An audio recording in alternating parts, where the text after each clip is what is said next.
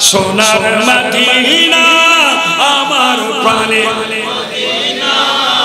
সব ভুলিব। সোনার মদিনা আমার সব ভুলিব।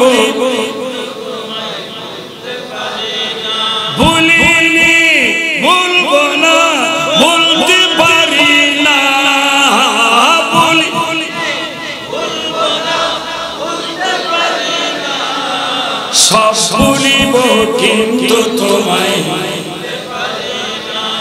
আর সে মোয়াল্লার যে বড় তুমি ও, আর সে মোয়াল্লার যে বড় খোদার সৃষ্টিতে তুমি শ্রেষ্ঠ ভূমি ও, খোদার সৃষ্টিতে তুমি শ্রেষ্ঠ তোমার বুকে শুয়ে আছেন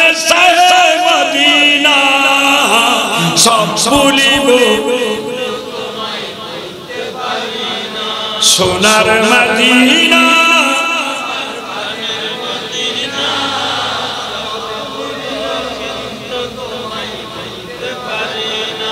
জঞ্জতের বাগানে তোমায় নবী শেফার অধিকারী তোমায় করেছেন। তোমার বুকে প্রবাহিত ঝরনা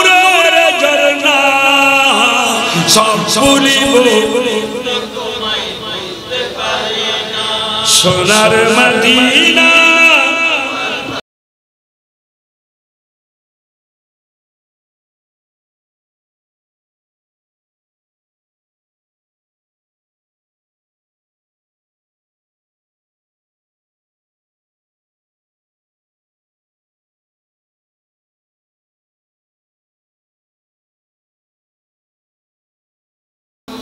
এবার আসুন আমি মুক্তসর একটা আয়াত শরীফ বরকতান তেলাওয়াত করেছি তার সাথে একটা হাদিসের কিছু তর্জমা আমার সভাপতি সাহেব আসার সাথে সাথে আমি ওয়াজ শেষ করে দেবো ইনশাল্লাহ হুজুররা যদি দোয়া করে আমি তো সুস্থ মানুষ بسم الله الرحمن الرحيم وأما بنعمة ربك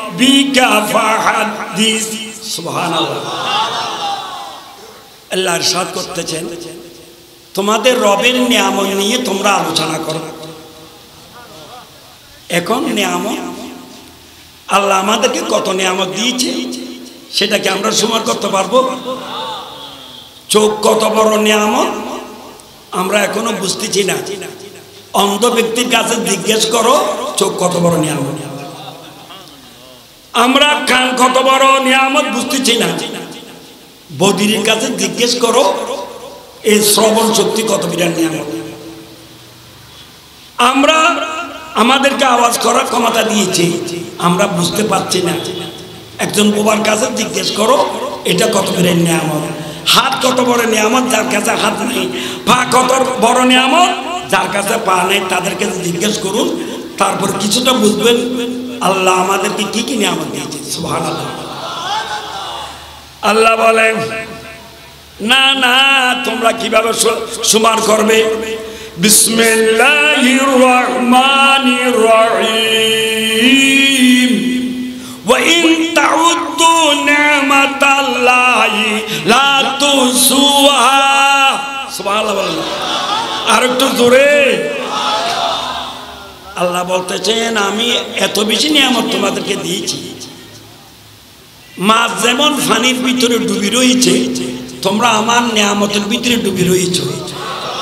তোমরা যদি আমার নিয়ামত একটা একটা করে গণনা করতে থাকো, জীবন শেষ হয়ে যাবে, তবু নিয়ামতের গণনা শেষ হবে না।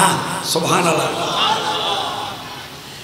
তা আল্লাহর বলি বলতেছে, গরবার তনে মন জোবাসো ধর্ম এসা তোরা, সুমারি না তোমার নামু কর দো সুবহানাল্লাহ। হে খুদাবন্দ কুদ্দুস, তুমি যে আমাদেরকে এত নিয়ামত দান করেছ, আল্লাহ, এই নিয়ামতের শুকরিয়া শুধু আমাদের একটা মুখ ধারায় নয় আমাদের শরীরে যত লোম আছে, প্রতিটা লোমের মাথায় মাথায় যদি একটা মুখ দাও, সেই সমস্ত মুখ দ্বারায় যদি আমরা যদি তোমার নিয়ামতের শুকর আদায় করি, জীবন শেষ হয়ে যাবে। তবু তোমার নিয়ামতের শুকরিয়া আদায় করা সম্ভব হবে না। সোহান আরও বলুন না, জোরে। আল্লাহ বলেন, নিয়ামতের শুকরিয়া আদায় করলে।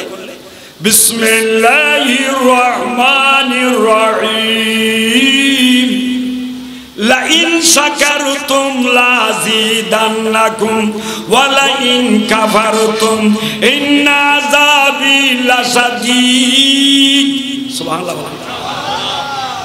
আল্লাহ বলে, তোমরা যদি শুকরিয়া আদায় করো, তাহলে আমি নিয়ামত আরও বাড়াই দেব। আর তোমরা যদি আমার নিয়ামতের সাথে কুফরি করো, শুকরিয়া আদায় না করো, জানি রাখো, আমার দর পাকড় বড় মজবুত, আমার দর পাকড় থেকে রেহাই পাবা না জাহান নামে স্থান হবে। নাউজবিল্লাহ ভাইয়েরা আমার, মুরব্বীরা আমার, তাই কিন্তু সবচেয়ে বড় নিয়ামত কোনটা?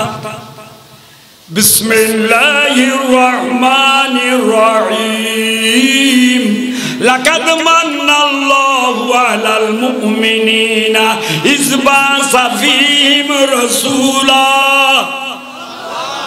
আরেকটু জোরে বলবেন না? আল্লাহ বলতেছে, তোমাদেরকে আমি হাজার হাজার লাখ লাখ নিয়ামত দিয়েছি। কোনো নিয়ামতের কোটা আমি দিচ্ছি না। কারণ এটা তোমাদের জন্য বড় নিয়ামত, আমি মোটামুটি দিয়েছি তোমাদেরকে। কিন্তু আমার কাছেও একটা বড় নিয়ামত আছে। যেটা নিয়ে তোমাদেরকে কোটা দিচ্ছি। সেটা কি?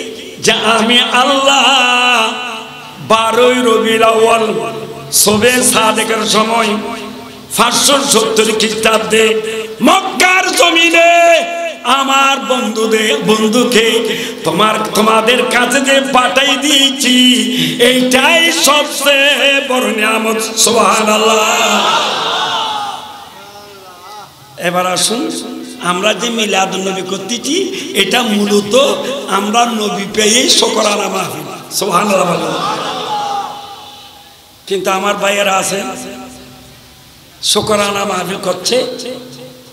এরা এদের কোনো কষ্ট হয় নাই। বর্তমানে মাস্টার্সের সার্টিফিকেট নিতে কষ্ট আছে কিনা? মেট্রিক পাস করতে হবে আইবিএ পাস করতে হবে মাস্টার্স পাস করতে হবে একটা সার্টিফিকেট ঠিক কিনা? মাদ্রাসায় দাখিল আলিম ফাজিল। কামিল পাস করার পরে মাস্টার্সের সার্টিফিকেট আমার কমি ভাইরা যখন এই লেখাপড়া ছাড়া একটা লম্বা লম্বা কথা গায়ে দিয়ে যখন মাস্টার্সের সার্টিফিকেট হয়ে গেছে, তখন তারা শকরানা মাহফিল করছে। ঠিক কিনা? আমি কি মিথ্যা বলতেছি ভাই? শকরানা মাহফিল করছে। তো ভাই যান আপনারা একটা মাস্টার্সের সার্টিফিকেট হয়েছেন এই জন্য শকরানা মাহফিল করছেন। এটা যদি জায়েজ হয়, তার সবচেয়ে বড় নিয়ামত মদিনাওয়ালা নবী, তাকে পায়ে তার শকরানা হিসাবে মিলাদুন নবী কেন বেদাত হবে, ঠিক কি না? তা ভাইয়েরা আমার, মানুষকে বিপদগামী করবেন না। রাত্রি এক মশালা দিনে তার এক মশালা, ঠিক কিনা যে রাত্রিতে সাবলা চত্বরে এরা নাস্তিক, হটাও হটাও হটাও। হ্যাঁ নাস্তিক। তারপরে যখন এরা বুঝতে পেরেছে, এদেরকে কিছু দিলে ঠান্ডা হয়ে যাবে। যখন কিছু মালগুলো জায়গা জমিন দিয়ে দিল, তখন এই লালদির পাড়ে সানের মাহফিল দিয়ে বলে, না, এরা আস্তিক, এরা আমাদের দুশ্মন নয়, এরা আমাদের বন্ধু ঠিক কিনা? আপনারা তো সব কিছু জানেন। এরপরও যদি আমরা যদি সচেতন না হই, তাহলে কিছু বলার নাই আমার। যারা রাত্রিতে এক মশালা, দিনে তার মশালা। আজকে এক ফাইসালা তারপর দিন এক ফাইসালা ঠিক কিনা। কিন্তু সুন্নি জমাতের অনুসারীরা, আমাদের হুজুররা, আকাবের আরে সুন্নত, এরা কোরআন, সুন্না ছাড়া আর কিছু চিনে না, ঠিক কিনা? আল্লাহ আমাদেরকে আমল করার তৌফিক দান করুন।